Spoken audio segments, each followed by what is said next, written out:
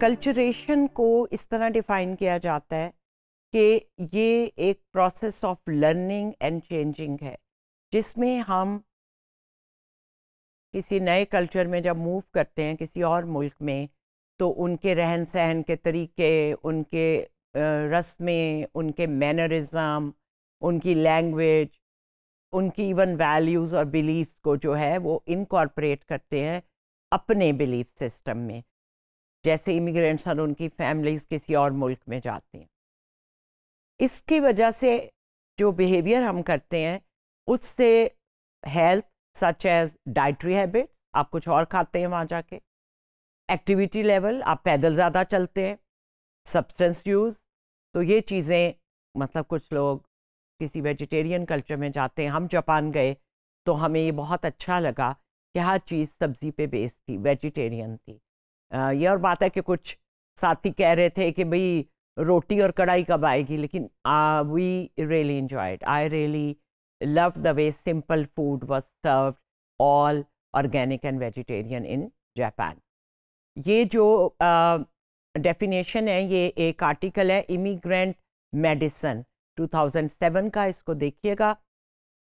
Culturation is the process जिसके ज़रिए आप किसी कल्चर के बारे में होमवर्क करते हैं।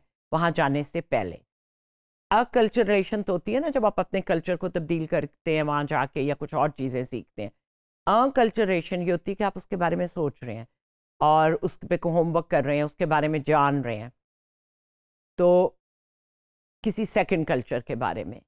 ये एलिस आइलैंड है 1905 की पब्लिक डोमेन में ये पिक्चर मुझे मिली है। क्रिस की है और ये इमिग्रेंट्स जो हैं वो एलिस आइलैंड पे आ रहे हैं। इमिग्रेशन और अकल्चरलेशन की लंबी हिस्ट्री है। बहुत देर से इंसान ये कर रहे हैं। ये एक प्रोसेस है सोशल साइकोलॉजिकल और कल्चरल चेंज का, जब कल्चर्स आपस में मिलते हैं। इमिग्रेंट्स रिफ्यूजीज असाइलम सीकर पनागुजीन और सफ़र करने वाले लोग, वो सब इससे गुज़रते हैं, लेकिन उसके अलावा भी लोग इससे गुज़रते हैं। जो भी काम करने जाएँ। दो मिसालें रिसर्च की। एक तो डाइटरी प्रैक्टिस इन्होंने कंपेयर की हैं अरब स्पीकिंग इमिग्रेंट्स की और रिफ्यूजीज़ uh, की इन वेस्टर्न सोसाइटीज़ इसको उन्होंने एक रिव्यू किया है कि इनकी डाइटरी हैबिट्स क्या हैं। मसला हम हलाल खाना कहीं भी नहीं छोड़ते और अगर हलाल गोश्त ना मिले तो हम गोश्त नहीं खाते। तो दूसरे कल्चर में जाके मेरा ये तजर्बा है।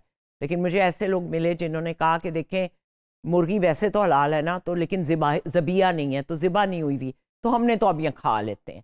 तो they change I wouldn't change क्योंकि मुझे लगा कि हलाल हुई, ज़िबा हुई भी मुर्गी के ऊपर पले हुए जब आपकी ज़िंदगी के इतने साल गुजरे हैं तो कोई केमिस्ट्री ना डिस्टर्ब हो जाए। There is a theory to that there is a logic and wisdom उसके पीछे कोई वजह होगी ना? सिद्रा जावेद, एक पंजाब यूनिवर्सिटी की स्टूडेंट है, उनका एम का थीसिस था करेक्टर स्ट्रेंथ्स को कैसे यूज़ करते हैं जो पाकिस्तानी यहाँ हैं और जो सऊदी अरब में काम कर रहे हैं।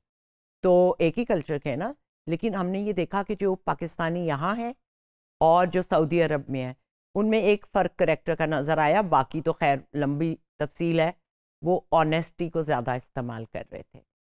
ये था क्रॉस कल्चरल कल्चरेशन का एक थोड़ा सा तबसरा। इसका फ़ायदा ये होता है कि लोग ज़्यादा इफ़ेक्टिव हो जाते हैं एफिशिएंट हो जाते हैं अपनी नई इन्वायरमेंट में जब वो वहाँ जाके कल्चर को अडॉप्ट करते हैं। किसी को ग्रीट कैसे करना है? सलाम अलैक लैंग्वेज सीखनी है कौन से जुमले बोलने हैं? ड्रेस कोड क्या है? आ, कोई चीज़ें बाज़ार से कैसे ख़रीदनी है? सर्विसेज़ हैं बस पे कैसे चढ़ना है? टिकट कैसे लेना है? तो कल्चरल अडाप्टेशन इंटरनेशनल कम्युनिकेशन के लिए भी वाइटल है। और प्रोफेशनल इंटरेक्शन के लिए भी।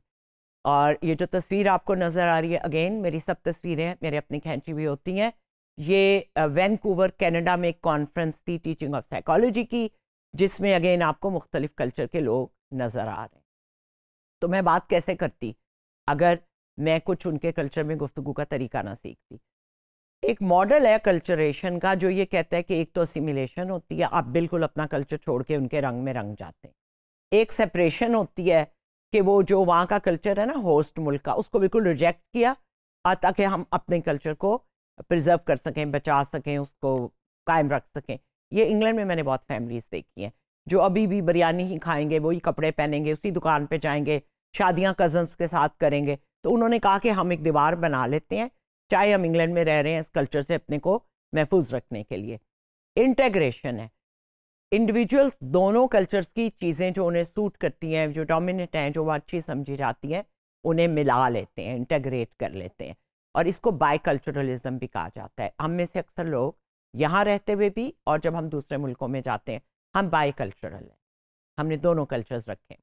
मार्जिनलाइजेशन ये होता है कि वो अपने कल्चर को भी रिजेक्ट करते हैं और उस मुल्क के कल्चर को भी रिजेक्ट करते हैं तो बिल्कुल मार्जिनलाइज हो जाते हैं।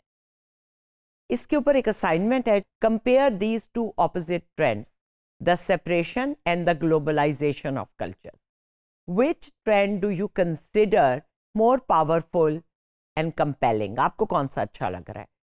इवेंचुअली विल कल्चर्स मर्ज और become more separated from one another ये एक दूसरे में घुल मिल जाएँगे या अलग रहेंगे?